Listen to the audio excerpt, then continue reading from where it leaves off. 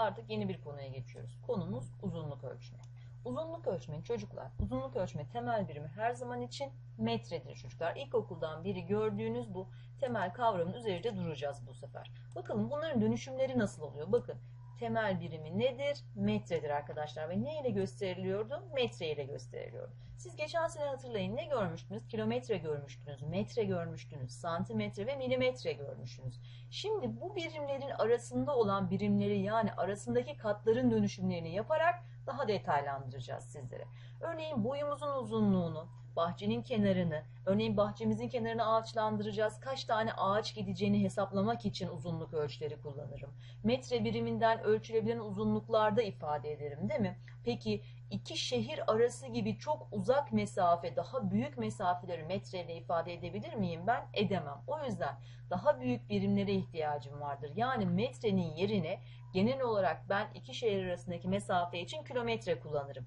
Ama kilometreden de daha az olan birimleri gösterebilmek için göstereceğim yerler artık benim hektometre ve dakametre birimleri olacak. Şimdi bunlara bakalım. Evet çocuklar burayı bir merdiven şeklinde düşünebilirsiniz. Evet bir dakika. Şuradan. Evet çocuklar burayı bir merdiven şeklinde düşünebilirsiniz. Bu tarafa doğru tamam mı? Her zaman için bu tarafa doğru aşağıya iniş. Bu tarafa doğru da yukarıya çıkıştır yavrucuğum. İniş her zaman çok kolaydır, çok keyiflidir. Artarak devam eder. Yani çarpılarak devam eder. Çıkış ise yorucudur, zordur, bölünerek devam eder. Seni bin parçaya böler gibi düşün. Bölünerek devam eder. Peki öğretmenim temel uzunluk ölçme birimi metreydi. Evet temel uzunluk ölçme birimi metre. Metrenin üst katları, üstündeki katlar yani metreden daha büyük olan birimler ve metrenin az katları, metreden daha küçük olan birimler olarak ayırıyorum. Metreden daha küçük birim desimetre, daha küçüğü santimetre, en küçük, en minnaksa milimetre. Metrenin bir büyüğü dakametre, onun büyüğü hektometre, en büyüğü de yani en büyük olan da nedir bize? Kilometre. Peki öğretmenim ben bunları nasıl aklımda tutacağım? Bak şimdi bunun bir kolayı var. Ne yapacağım? Ben şimdi biliyorum temel ölçme birimim neydi benim? Metre. Metre burada duruyor. Bakın bu benim temel ölçme birimim, temel uzunluk birimim metre. Şimdi diyorum ki ben bunu şöyle kodlayacağım. Bakın bunu lütfen unutmayın. Sizin aklınızın bir ucuna yerleşir. Kamile Hanım damda, Mehmet dayım camda. Merhaba, merhaba. Tekrarlıyorum. Kamile Hanım damda, Mehmet dayım camda. Merhaba. Çocuklar bunları parantez açarak içine benim yaptığım kodlamayı yazabilirsiniz aklınızda kalması için. Lütfen öğrenene kadar. Bu çok keyifli hale getirir sizin için buradaki sıralamayı öğrenmenizi. Lütfen siz de defterinize parantezin içine benim kodladığım ifadeleri yazın. Tekrarlıyorum size. Bir dakika şunları bitirelim. Siz bu parantezlerin içine yazın. Kamile Hanım damda, Mehmet dayım camda. Merhaba, merhaba.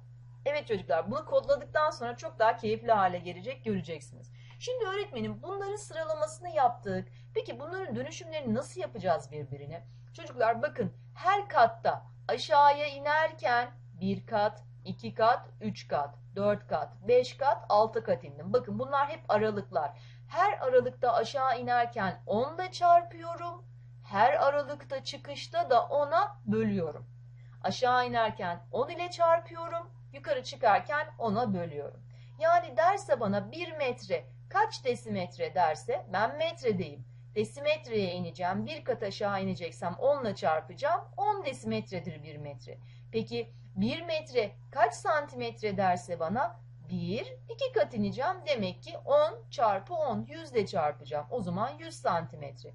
Peki 1 metre kaç milimetre derse bana 1, 2, 3 kat iniyorum. O halde 3 tane 10 ile çarpmak demek 10 çarpı 10 çarpı 10'dan 1000 demek çocuklar. Bakın 3 tane 10 derken 3 çarpı 10 değil 3 sefer 10'dan bahsediyorum. Arka arkaya 10 ile çarpılması. Yani 1 metreyi 1000 ile çarptığım zaman 1000 milimetre yapacaktır çocuklar. Evet bakın burada da vermiş bana dönüşümleri.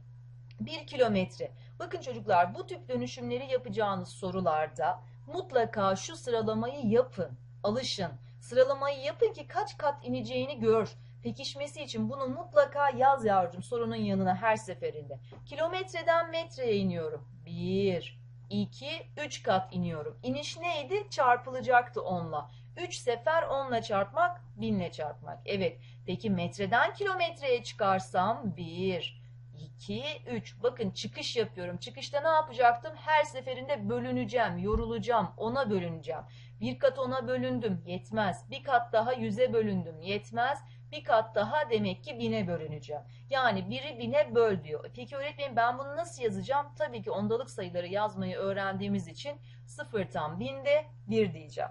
Evet bakın bir desimetre. Neydi bir desimetre bize? Desimetreden metreye bakın çıkacağım. Ona böleceğim demek ki. Ne varsa elimde ona böleceğim. Metreden desimetreye inerken onla çarpacağım. Yani birbirinin onda birine eşittir metre ve desimetre. Peki santimetre? E, santimetreyi ben zaten biliyorum ilkokuldan beri. Bir metre demek bana 100 santimetre. Yani metre, santimetre ve metre dönüşümde santimetre metrenin yüzde birine eşittir çocuklar. Evet bakın burada zaten bize bu ifadeleri net veriyor. Yüzde birine eşittir. Onda birine eşittir. Bakalım milimetre ise metrenin binde birine eşittir çocuklar. Yani metreden bakın milimetreye gelirken kaç kat aşağı ineceğim? 1, 2, 3 kat aşağı ineceğim. Binle çarpacağım. E milimetreden metreye çıkarken de 3 kat yukarı çıkmak demek bine bölmek demek çocuklar. Evet devam edelim. Evet bakın hemen dönüşümler yapacağız burada. Ben ne yaptım? Hemen yanıma yazdım. Neydi kodlama? Kamile Hanım damda, Mehmet dayım camda. Merhaba, merhaba. Bunu unutmayın çocuklar ve mutlaka lütfen bunu yazın çocuklar. Verilen dönüşümleri yapalım. Evet 7 metreden bakın metreden desimetreye aşağıya in diyor. Bir kat aşağı inmek demek ne demekti bunu? 10 ile çarpmak demek. O halde kaç olacak? 70 olacak. Bakın 12 metreden santimetreye, metreden santimetreye 1, 2 kat aşağı. 2 tane 10 ile çarpmak demek bu. 2 sefer 10 ile çarpmak demek yanına 2 tane 0 getirirsem 1200 olacak. 2 metre, metreden milimetreye 1, 2, 3 kat. O zaman 3 tane 0 getirmek yanına kaç elde edecek bana? 2000 milimetre. Kilometreden metreye 1, 2, 3 kat aşağı. Demek ki 40'ın yanına 3 tane 0 getirirsem ne olacak bana? 40 bin metre olacak çocuklar. Bunları lütfen siz de yapın aynen videoyu bitirmeden durdurarak devam edelim. Santimetreden metreye çıkacağız. 1, 2 kat yukarı çıkmak demek bunu bir sefer ona böl. Bir daha ona böl mü demek? Yani 2 tane sıfırına ne diyecek? Bay bay diyecek bize kalacak 50 metre. Santimetreden desimetreye gideceğim. Bakın bir kat yukarıya çıkacağım. Yani bunu ne yap diyor bana? Bunu ona böl diyor. E ben bunu ondalık sayı olarak nasıl yazacağım hemen? Bir tane sıfır olduğu için 7,5 desimetre olacak çocuklar. Evet milimetreden metreye. Yani bunu neye böl diyor bana? Hop. 1 2 3 bine böl diyor. Çocuklar şurası 0 bine böl diyor. Bine bölmek demek bir tane sıfırı gitti. 25 bölü 100 demek. Onu da nasıl yazacağım ondalık sayı olarak? 0 tam yüzde 25 olarak yazacağım. Milimetreden santimetreye hemen bir tık yukarıya çık diyor. Yani bunu hemen kaça böl diyor? Ona böl diyor. O bu da ne olacak o zaman 3, 30, 346 tam onda 2 olacak. Anlaştık? Evet devam edelim çocuklar. Evet bakın aynı şekilde yeni sorular var. Ben ne yapıyorum? Sorularda her zaman şu dönüşümleri yazıyorum çocuklar. Bunu pekiştirip öğrenene kadar. Şimdi geliyorum soruma. Evet benden iki tane veri toplama vermiş, bilgi toplama vermiş ve bunların sonucunu metre istiyor benden. Peki birimlerim ne? Milimetre ve desimetre. O halde milimetreyi önce metreye, desimetreyi de metreye dönüştürdükten sonra ben bunları birleştirme işlemi yapabilirim. Hemen milimetreyi bakalım. Buradayım metreye çıkacağım. 1, 2, 3 kat yukarı çıkmak demek bunu bine mi bölmek demekti? O zaman 1, 2, 3 böldük bine ne kaldı bize? 40 kaldı. Demek ki bu ifademiz 40 metre. Peki 200 desimetre kaç metre yapar? Hemen bir sıfırına bay bay dersek çünkü ona bölersek bu da ne yaptı bize? 20 desimetre yaptı. 40 burada 20 de burada cevabımız kaç olacak o zaman? 60 metre olacak çocuklar. Evet devam edelim. Kilometre olarak istiyor. 400 metrenin kaç kilometre yaptığını bulmam için ben bunu ne yapacağım? Hemen kaça böleceğim? 1000'e böleceğim değil mi? Şöyle 1000 yazayım. Mouse'la yazmak çok zor oluyor çocuklar. 1000'e böleceğim. O halde iki tane sıfır gitti mi? Gitti. Bunlar da gitti. Yani bana 4 bölü 10 kaldı. 4 bölü 10 demek bana 0 tam. 10'da 4 mü demek çocuklar? Evet. Peki ben bunları birleştirirsem kaç yapar? 12 tam. 10'da 9 kilometre yapar çocuklar. Bunlar rahatlıkla yapabileceğiniz soru tipleri de çocuklar. Hiç yanılma, şaşma olmaz. Evet, hemen bakalım problemleri. Bu kadar metrelik bir yolun 5 kilometresi asfaltlanmış.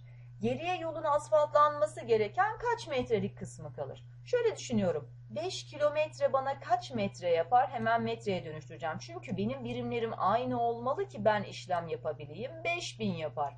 E 6248'den 5000'i çıkartırsam ben asfaltlanmayan yol miktarını bulur muyum? Bulurum. Peki bunu da benden ne istiyor zaten? Metre istiyor. Anlaştık. Hangisidir diyor. Ne yapın burada? Eşleştireceğiz. Evet kaç olur o zaman bu bize? 1248 olur. Yani şu 3 numaralı. Evet şuraya 3 numaralı yazalım. Evet.